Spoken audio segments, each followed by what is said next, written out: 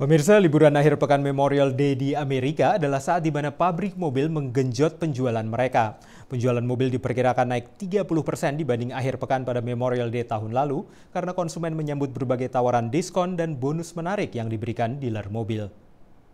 Di Rockland County, New York, dealer mobil ini mengalami bulan terbaiknya dalam tiga tahun. Keyakinan konsumen meningkat di showroom mobil dan pembeli berdatangan.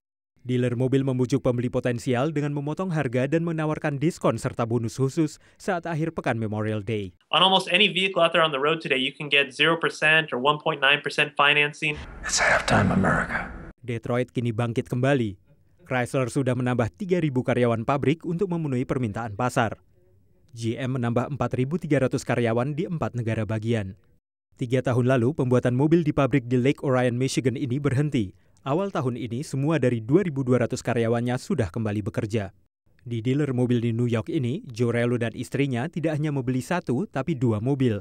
Keduanya mobil Amerika yang bisa membantu menciptakan lapangan kerja. Satu lagi mobil yang meluncur di jalan menuju pemulihan.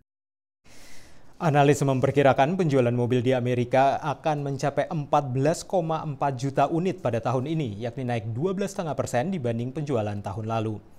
Dari Washington, saya Helmi Yohanes dan tim VOA.